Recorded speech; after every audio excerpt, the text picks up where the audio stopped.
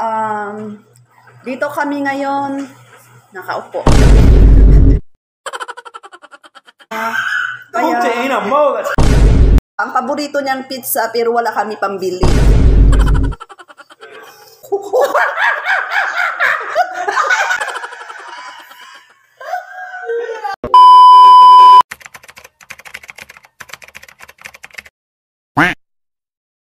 Um, dito kami ngayon, nakaupo. um, ako'y nananawagan sa aming presidente na sana tulungan niya ang aking asawa na si Howard. Siya ay may sakit na AIDS. At siya ay isang bingi. So, wala po akong ipagamot sa kanya. Kaya, Dana Mo, that's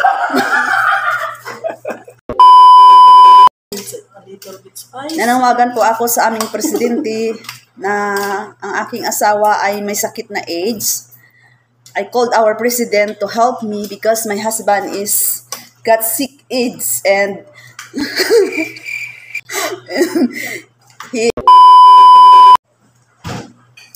Nanawagan po ako sa aming presidente na sana tulungan niyo po ako na ipagamot ang aking asawa na si Howard. Siya po ay may sakit na AIDS. At saka, Why you gotta have AIDS? you got AIDS too.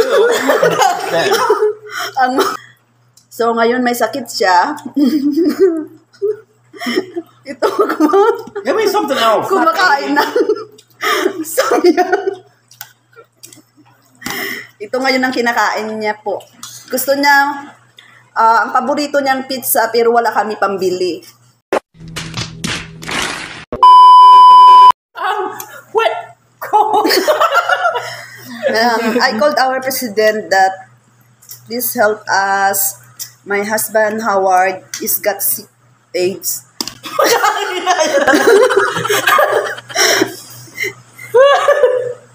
His word before is macho dancer. oh, well, that'd be his- why I got AIDS. Back to dancer. Macho, macho, macho, macho.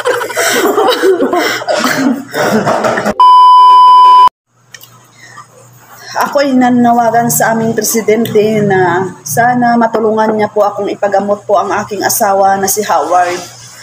Siya po ay may sakit na AIDS. At saka po siya isang bingi. She's, uh, he is uh, he has AIDS and then he is a deaf. Sana po Ano? matulungan po ninyo po ako na ipagamot siya. na ipagamot siya kasi po It's spicy. mahirap lang po kami. Wala pa akong pera na pagamot. I'm very stressed now because we have no money to for, for his treatment. He has worked before. He is working uh, macho dancer before in sana po mat, um, ngayon po ay may sakit siya. So ako ay na-stress na. I'm very stressed now because I have no money for used to be a lady boy in Bangkok. I have no money for him.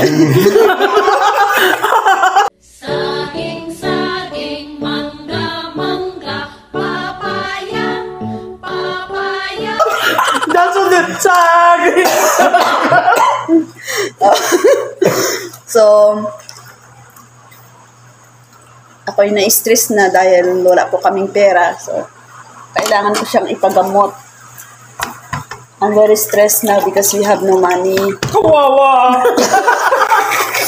Buti nga sa'yo. See? Sana matulungan niyo po ako, Mr. President. I hope the President will help us for your treatment. Gusto ko siyang gumaling. Minsan pasaway siya.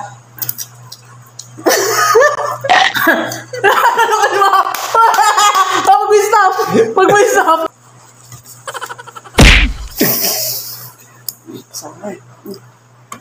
I didn't know you didn't like that. Sorry, I didn't hear you. I'm deaf and I have AIDS. Crazy. Maybe the loud music from being a macho dancer. Good, we're still playing. So kung gusto nyo siyang makita na sumayaw na saging-saging, you want to see dancing saging-saging. Now you can show to them Ano? dance. You Ano? can show. Ano? Okay. Saging-saging. Okay. Ano? Saging-saging. Oh, I don't feel good. My ache hurts.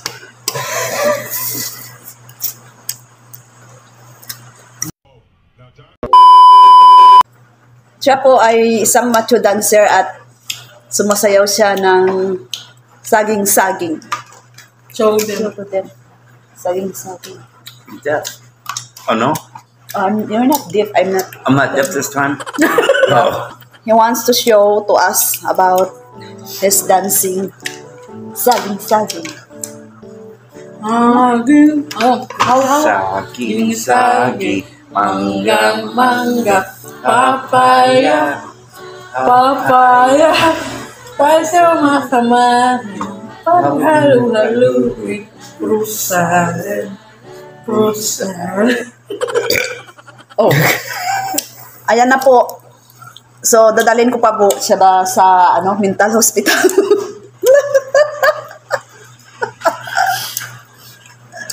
oh my God. Ako po ay nanawagan po sa aming president na sana matulungan niya po ang aking asawa na si Howard. Kasi po siya ay may sakit at hindi ko po siya maipagamot dahil wala akong pera. Siya po ay isang bingi at isang baliw. I called our president to help to help me to bring my husband in hospital because he is a thief and he is baliw.